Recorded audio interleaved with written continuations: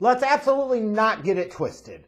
The whole internet wrestling bubble, the hardcore wrestling fan bubble, has a bad habit of overrating certain types of talent, certain types of wrestlers. And especially putting a greater emphasis on their importance than what reality says it is for wrestlers, excuse me, independent contractors, excuse me, sports entertainers that are ultimately released or let go by WWE. It's one of those things, very easy to yell up at Titan Towers and piss and moan at them. Especially when it's one of your types of wrestlers. There's so many of them are the same now. So let's not get it twisted here. Cesaro is not the type of guy that you build a major pro- promotion around. And if you think he is, then you are wrong. If you think he is, then thank God you're not running a wrestling promotion, otherwise, you would be bankrupt. Chapter 7 style.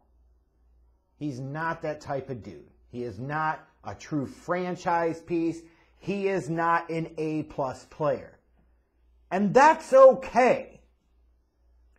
Not everybody is going to be an A plus player. Not everybody needs to be an A plus player. Not everybody should be an A plus player because if everybody is an A plus player, then you have no A plus players. It's like that dumb dick Meltzer star rating system. Once you start talking about putting six stars and seven stars on matches, well, now your three, three and a half star matches are middle of the road. That's not good anymore. You've broken your own fucking scale because you're a moron. So, Cesaro was never one of those types of dudes. Now, in this generation of WWE, does that mean that he shouldn't have gotten a t- run with the world title? I wouldn't go that far. Because, I mean, fuck, you look at some of the scrub asses over the past decade that have had the WWE title. Is Cesaro really that much worse than the worst of those? Probably arguably better than at least a couple of them. Point being is, he could have created a situation, should have manufactured it. He could have made it happen. Now, I'm always appreciated Cesaro. So, it's like, ah, I wish WWE and Cesaro would have been able to come up to terms on a contract. Maybe they will, or maybe Cesaro will be heading to AEW or elsewhere. Who knows? But that was a hell of a hand. Not a franchise player, but man, B, C level player that when they're really hot, they could be like a B plus, A minus type of dude.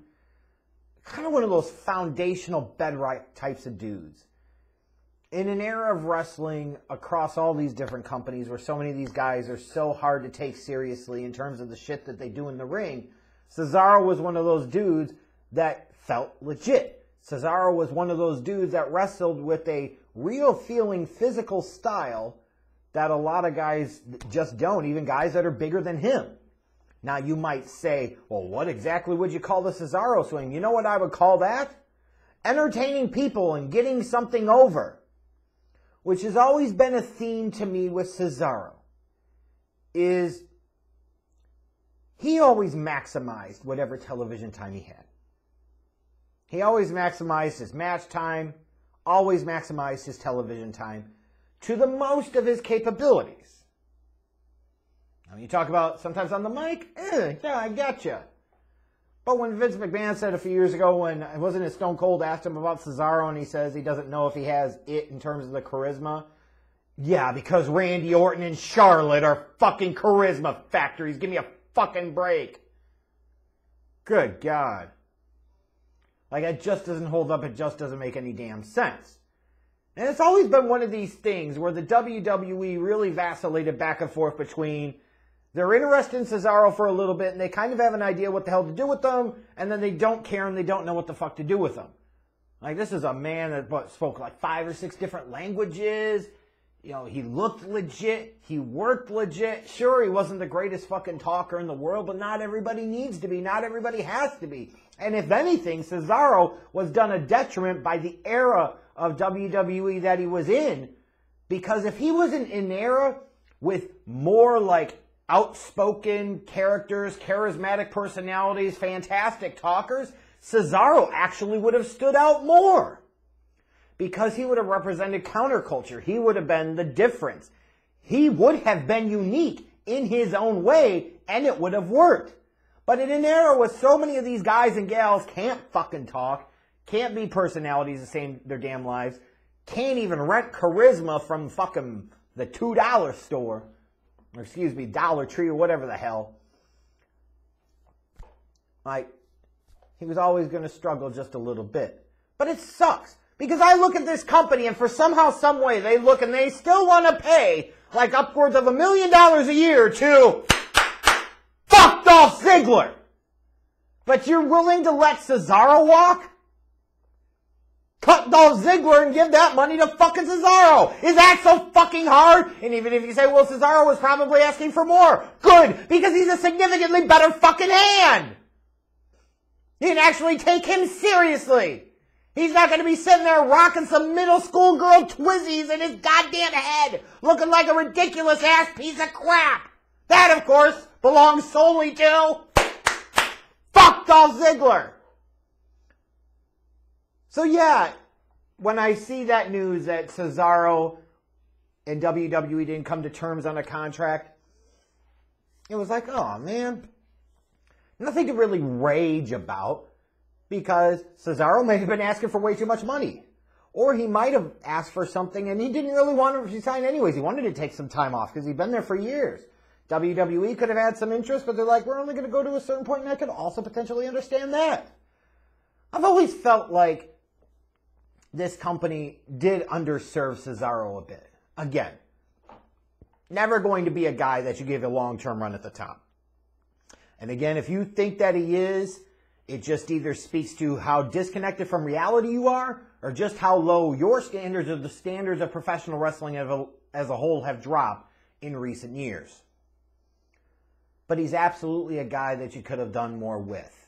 I mean, this is a guy, didn't he win an Andre the Giant Memorial Battle Royal? and they never really followed up on it. Wasn't he just wrestling and defeating Seth Rollins at WrestleMania like less than a year ago? And then a few months later, you're turning around and jobbing him fucking out. If anything, Cesaro was a bit of a victim of the Titan Tower machine in terms of the malfunction of said Titan Tower machine. Because it used to be the Titan Tower magic could take some of these guys polish them up a little bit, and get the absolute most out of them. And now, these days, it's more like the company, the Titan Tower machine, does everything they can to piss on them and get the absolute least out of the talent they possibly can. Now, as far as the whole Cesaro going to AEW is going to be great and it's awesome, is it? They've already got a bloated fucking roster. What's going to be so sizably, seismically different about his AEW time versus his WWE time. Really, seriously. And if you think that Tony Khan is going to sit there and do a whiz banger of a better job with Cesaro in AEW, what the fuck are you smoking? You have way too much recent evidence that indicates that no, he really fucking won't. He might get it right with one guy and he'll get it wrong with five or six others. That's not a great batting average either. He may be better than Vince's current batting average, but what the fuck is that even saying? Personally, for me, I'd rather see Cesaro just take some time off if that's what he chooses to do. He's earned that right. You know, relax. Probably not hurting for money, I would assume. You know, still early 40s, so still probably has a few really high quality years left in professional wrestling. Take a few months off, rest your body, rest your mind, and then, you know, sit, take a look back, look at the scenery of the business, look at the scenery of AEW, WWE, and see, you know, how it might best fit for you, where you might best fit, where you might be able to do the best. You know, nothing wrong with that. I just, I've always been a little frustrated though with WWE, admittedly, because they could have done more with this guy. They could have to say that they got the most out of him they absolutely could have is bullshit. As much bullshit as saying that he should have been a multiple time world champion and a guy that should have been at the top of that federation. That's also bullshit. Like there's some type of happy medium there. I will always respect Cesaro for being that type of dude that whatever he was given, he always took his best foot forward and tried his damnedest to get it over to maximize his time. And it wasn't always maximizing his time just in terms of I'm going to do a high spot or a flip or some other pussy ass bullshit. So yeah, it kind of sucks that this dude that should have been one of those, you know, mid card, upper mid card foundational pieces for a decade, that was a measuring stick type of guy at his level, that you would work guys up and down the card through Cesaro. That's just never really consistently manifested, and that is absolutely the fault of the Titan Tower machine. That's on Vince. Like it wasn't that hard. And they couldn't even get that right. So if he goes to AEW, I wish Cesaro the best of luck. God, I hope they know how to use him. If he sometime comes back to WWE, hopefully maybe he can leverage himself into a better position. Sounds like, feels like. He left and didn't burn any bridges, which strikes you as the type of dude that Cesaro is. You would think that Claudio would be able to go back there and at least get some type of push for three, six months until Vince loses interest again, but whatever, fuck it, get paid. Get made, get laid. But yeah, you guys can tell me what you think about the news of Cesaro leaving WWE. It probably felt like an eventuality.